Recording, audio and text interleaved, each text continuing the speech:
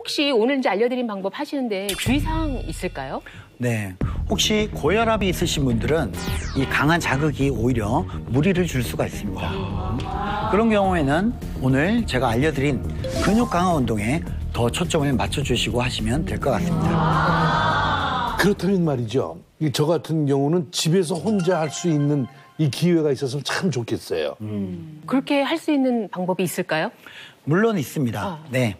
집에서 쉽게 돈 한 푼 들이지 않고 제가 해드린 만큼 좋은 효과를 보실 수 있는 방법을 알려드리도록 하겠습니다. 돈이 들어야죠. 아, 아니 돈은 조금 들더라도 좀 어떻게 꼭 좀 가르쳐 주시죠.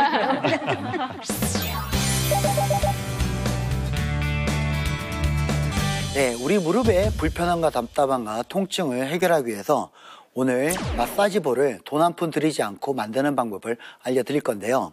첫 번째, 돌멩이, 그리고 위생상 싸줄 수 있는 비닐봉지, 아, 양말을 준비해 주시면 되겠습니다. 돌멩이를 그냥 비닐에 싸주시고요. 그 돌들 말아주세요. 그리고 그냥 양말에 넣어주시면 됩니다. 한 번이면 좀 딱딱할 수 있으니까 양말 한 군데 더 넣어서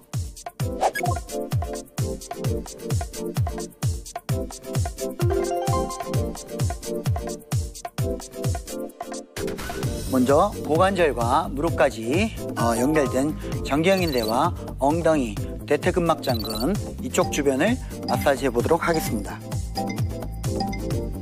자, 무릎을 당겨서 내렸다, 당겼다, 10번.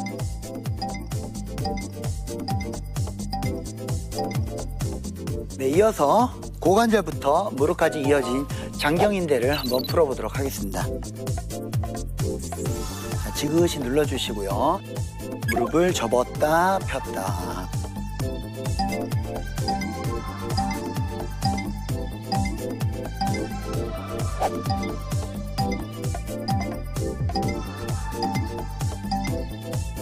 네, 다음은 고관절부터 무릎까지 이어진 대퇴직근에 대한 마사지를 한번 해보도록 하겠습니다.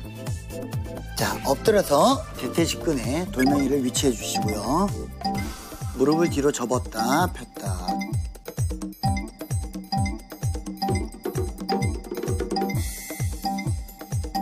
이번에는 무릎 주변에 딱딱지 굳어 있는 덩어리들을 한번 풀어보도록 하겠습니다.